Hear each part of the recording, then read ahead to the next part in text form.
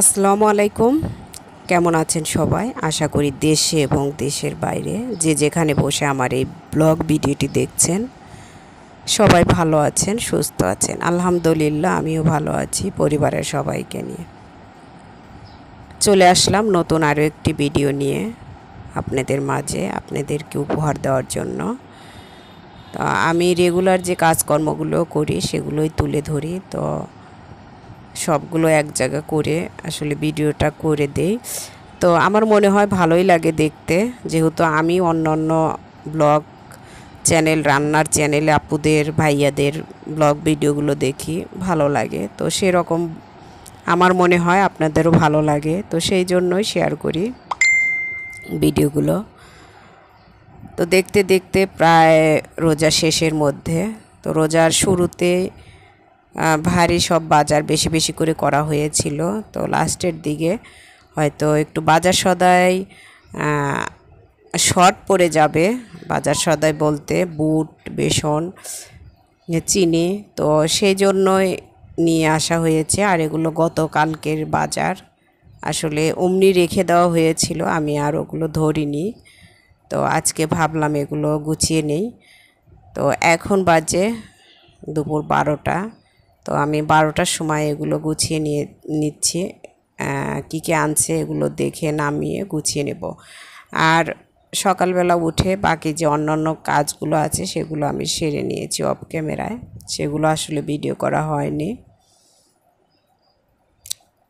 তো এখান থেকে ভিডিওটি স্টার্ট করলাম। তো যা হোক, এগুলো আমি গুছিয়ে নিচ্ছি। যেখানে যে ডিব্বায় রাখা হয় যেগুলো, সেগুলো রাখ, রেখে আমি রান্নাঘরে চলে যাব। আজকে মজার একটা ইফতারি বানাবো। বসনিয়ান পরোটা আর সঙ্গে থাকবে তান্দুরি চিকেন। তো এই রান্নাটা এর আগেও আমি দুইবার করেছি, বসনিয়ান পরোটা আর তান্দুরি চিকেন। অলরেডি একটা রেসিপি আমার চ্যানেলে দেওয়া আছে। সেটা আসলে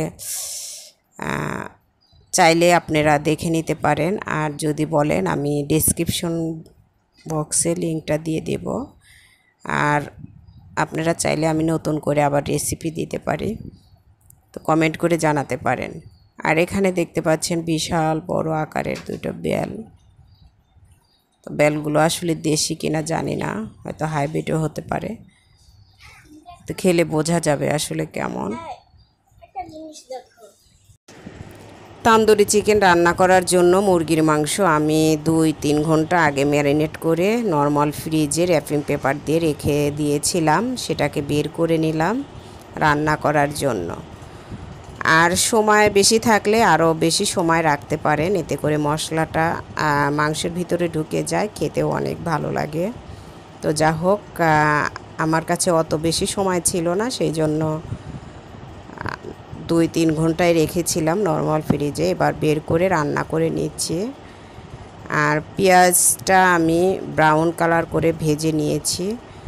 এই রান্নাটাতে পেঁয়াজটা ব্রাউন কালার করে ভেজে নিতে হয়। এতে করে রান্নাটা অনেক সুস্বাদু হয়, খেতে ভালো লাগে কালারটাও দারুণ আসে। তো যা হোক, আমি মাংসটা দিয়ে তেলের সাথে কিছুক্ষণ ভেজে নিয়েছি। ভেজে নেওয়ার পর যেই বাটিতে আমি মাংস ম্যারিনেট করে রেখেছিলাম, মশলা লেগেছিল, একটু সামান্য পরিমাণ পানি দিয়ে আমি ধুয়ে পানি দিয়ে দিলাম। এবার ভালো করে মাংসটা কষিয়ে নেব। একটু সময় নিয়ে নেড়ে উল্টিয়ে পাল্টিয়ে কষিয়ে নিতে হবে। আর দেখতেই পাচ্ছেন কষাতে কষাতে কিন্তু কালারটা অনেক সুন্দর এসেছে। তেল মশলা থেকে তেল ছেড়ে দিয়েছে। দারুণ একটা ফ্লেভারও এসেছে আর কালারটাও দারুণ এসেছে। আর এটা খেতে কিন্তু অনেক মজার হয়। তো যারা খেয়েছেন তারা জানেন আর যারা খাননি একবার হলেও ট্রাই করতে পারেন। তো আমি ঢাকনা লাগিয়ে দিলাম। আর ঢাকনা লাগিয়ে বারবার নেড়ে আমি মশলা সরি মাংসটা কষিয়ে নেব। আর এদিকে আমি ময়দা মাখিয়ে রেখেছি বসনিয়ান পরোটার জন্য। এটাও দুই তিন ঘণ্টা আগে মাখিয়ে রাখবেন। এক ঘণ্টা আগেও রাখা যায়, তবে দুই তিন ঘণ্টা আগে রাখলে পারে ময়দাটা ভালো সেট হয় আর ফুলে ডাবল হয়ে যায়। তো যা হোক, কথায় কথায় কিন্তু মুরগির মাংসটা কষানো হয়ে গিয়েছে প্রায়। দেখতেই পাচ্ছেন অনেক সুন্দর করে কষিয়েছি অনেকটা সময় নিয়ে। এবার এখানে আমি ঝোলের জন্য পরিমাণ মতো পানি দিয়ে দেব। আর খুব একটা বেশি পানি লাগবে না, যেহেতু আমি ম্যারিনেট করে অনেকটা সময় রেখে দিয়েছিলাম। মশলাটা ভিতরে ঢুকে গিয়েছে আর টক দই দেওয়ার কারণে মাংসটা সফট হয়ে আছে। আর এমনিতেই ব্রয়লার মুরগির মাংস অনেকটা সফট এবার এখানে আমি আস্ত কয়েকটা কাঁচামরিচ দিয়ে দিচ্ছি। এটা অপশনাল চাইলে দিতে পারেন, না চাইলে নাও দিতে পারেন। তো আমি দিয়ে দিলাম, ভালো লাগে সেই জন্য। এবার ঢাকনা লাগিয়ে রান্না করে নিই। তো রান্না কিন্তু হয়ে গিয়েছে। অফ ক্যামেরায় রান্নাটা সেরে নিয়েছি, এবার দেখিয়ে দিলাম।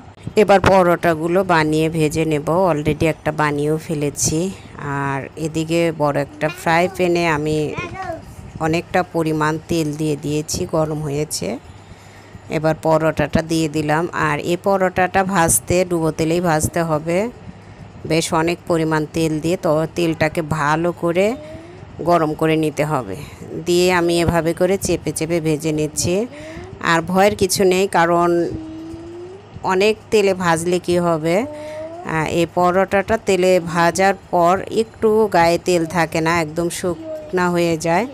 অন্যান্য নর্মাল পরোটা যেমন ভাজার পরে গায়ে অনেক তেল থাকে, কিন্তু এই পরোটাটার ক্ষেত্রে কিন্তু একদমই তেল থাকে না। আর এই পরোটাটা ভাজার সাত আট ঘণ্টা পরেও নরম, সফট থাকে, একদমই শক্ত হয় না। তো অনেক সময় রেখে খাওয়া যায়।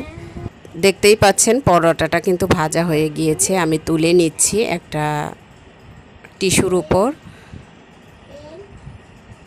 আর এভাবে করে আমি আরও একটা পরোটা বানিয়ে ভেজে দেখাবো।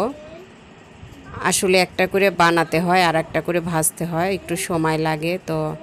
আর আমি একা একা করছি তো, একটু সময় লাগছে, তবে সমস্যা নেই। অনেক সময় আছে ইফতারের এখনও তো এই তো আমি বানিয়ে যে ভেজে নিয়েছি। ভাজা হয়ে গিয়েছে আর ফুলে ডাবল হয়ে গিয়েছে। আর কালারটা কিন্তু অনেক সুন্দর এসেছে পরোটাগুলোর কালার অনেক সুন্দর হয়। তো এভাবে করে আমি সবগুলো পরোটাই অফ ক্যামেরায় বানিয়ে ভেজে নিয়েছি। আলহামদুলিল্লাহ, পরোটাগুলো খেতে অনেক মজার ছিল আর দেখতেও অনেক সুন্দর এই পরোটাগুলো দেখতে। তো এভাবে করে সবাই বানিয়ে খাবেন, পরিবারের সবাইকে নতুন নতুন খাবার সারপ্রাইজ দিবেন এই পবিত্র মাহে রমজানে। সবাই খুশি হবে, সবাই খেয়ে অনেক দোয়া করবে। আর সবগুলো ভেজে আমি টেবিলে সব খাবার গুছিয়ে নিয়েছি। মা সবাইকে খাবার বেড়ে দিচ্ছে। আর ইফতারির আয়োজন কেমন হয়েছে সবাই কমেন্ট করে জানাবেন। এবার আমি বিদায় নিয়ে নিচ্ছি। দেখা হবে নতুন আরও একটি ব্লগে সে পর্যন্ত সবাই ভালো থাকবেন, সুস্থ থাকবেন, আমাদের জন্য দোয়া রাখবেন। সবাইকে পবিত্র মাহের রমজানের শুভেচ্ছা জানিয়ে আমি বিদায় নিচ্ছি। আল্লাহ হাফিজ।